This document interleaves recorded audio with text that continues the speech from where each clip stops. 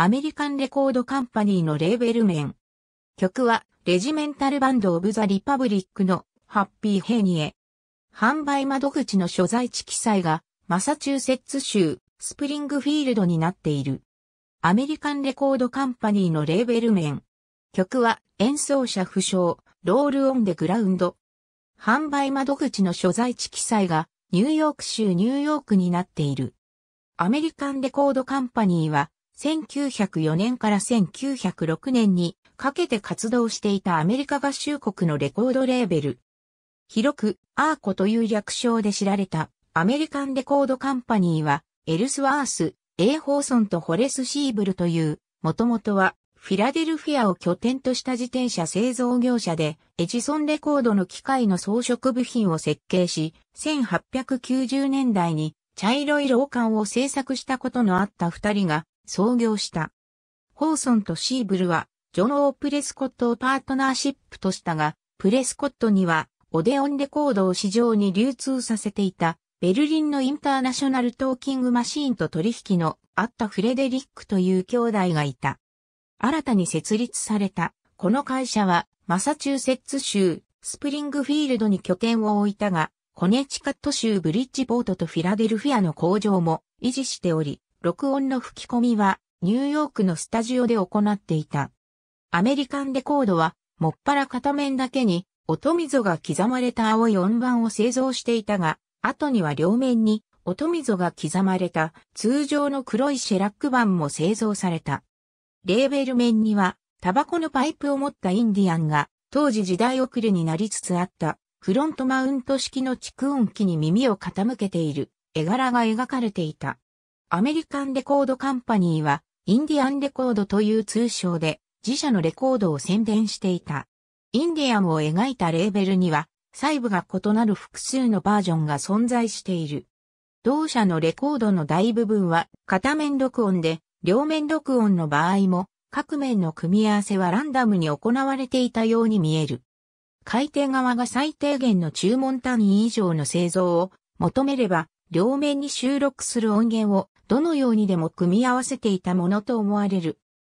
レコードは通常の黒い色ではなく、青い色をしているのが特徴となっていたが、これはエンペダイトと称されたシェラック素材で作られており、通常の黒いシェラック板よりも音色が良いとされていた。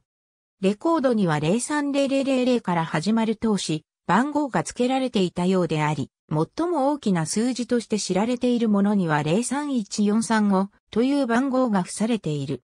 音盤の大きさには7インチ、10インチ、10.5インチがあり、10.5インチの規格はこれを使っていたオデオンとの結びつきに由来するものであった。7インチ版は当時番号の付け方が異なっており、短期間しか製造されなかったようである。イギリス向けに輸出されたレコードの一部には、アメリカンオデオンレコードと記したロゴを用いている例もあった。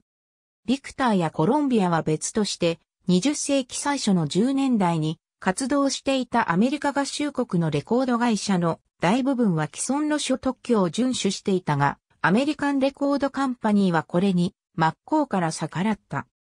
サウンドの歴史という観点から見ると、同社の最も重要な貢献は、現存する最も初期のハワイアン音楽の録音を残したことであり、ジュライパカが率いるロイヤルハワイアン、トルバドールズとクレジットされた数枚の音盤が存在している。同社の自前のバンドは、レジメンタルバンドオブザリパブリックと称され、このレーベルのインストゥルメンタル楽曲のほとんどを吹き込んでおり、歌手の伴奏も担っていた。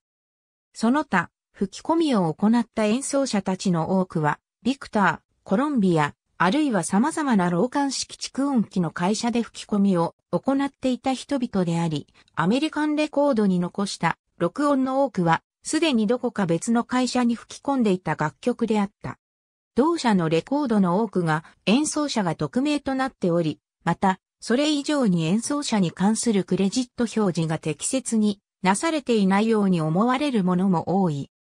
コロンビアやビクターの初期録音ほど一般的に普及しているわけではないが、相当の数が残されている同社の音源のコレクションには大きな価値があり、特に同社がマスターを提供していた他のレーベル、例えば BGB、カラマズー、ピアレスなどの版よりも価値が高い。ヨーロッパにおいて、アメリカンレコードカンパニーの音源は、ペリカン、リーダー、アメリカンオデオン、オデオンといったレーベルでリリースされた。アメリカンレコードカンパニーからレコードをリリースしたものの一部。ありがとうございます。